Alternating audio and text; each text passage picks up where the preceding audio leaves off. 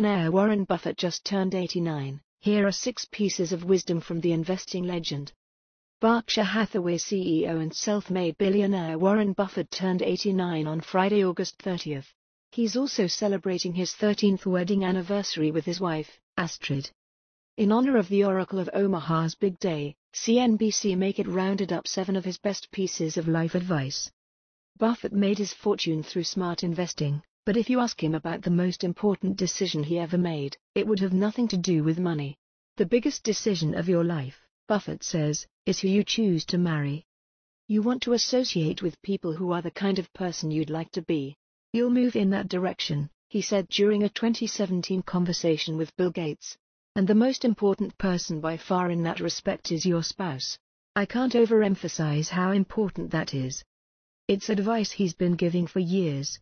As he said at the 2009 Berkshire Hathaway annual meeting, marry the right person. I'm serious about that. It will make more difference in your life. It will change your aspirations, all kinds of things. Invest in yourself. By far the best investment you can make is in yourself, Buffett told Yahoo Finance editor-in-chief Andy Serwer earlier this year. First, learn to communicate better both in writing and in person. Honing that skill can increase your value by at least 50%, he said in a Facebook video posted in 2018. Next, take care of your body and min deep, especially when you're young. If I gave you a car, and it'd be the only car you get the rest of your life, you would take care of it like you can't believe. Any scratch, you'd fix that moment, you'd read the owner's manual, you'd keep a garage and do all these things, he said. You get exactly one mind and one body in this world, and you can't start taking care of it when you're 50. By that time, you'll rust it out if you haven't done anything. Associate yourself with high-grade people. Who you associate with matters, Buffett told author Gillian Zoe Segal in an interview for her 2015 book, Getting There, a book of mentors.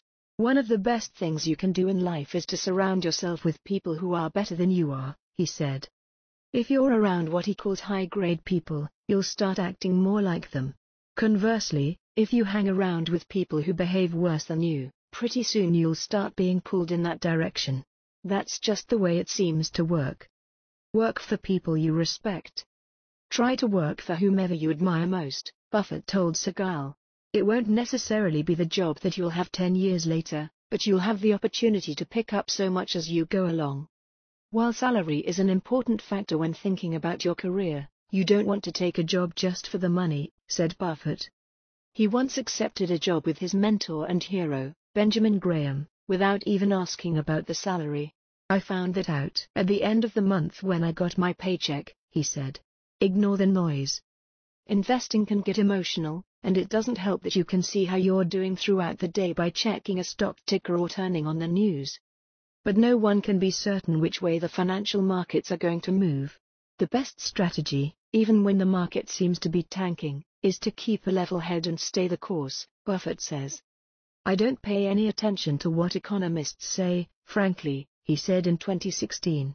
If you look at the whole history of economists, they don't make a lot of money buying and selling stocks, but people who buy and sell stocks listen to them. I have a little trouble with that. Success isn't measured by money. Buffett is consistently one of the richest people in the world, but he doesn't use wealth as a measure of success. For him, it all boils down to if the people you're closest to love you.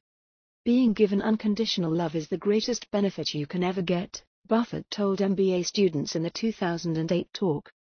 The incredible thing about love is that you can't get rid of it. If you try to give it away, you end up with twice as much, but if you try to hold on to it, it disappears. It is an extraordinary situation, where the people who just absolutely push it out, get it back tenfold.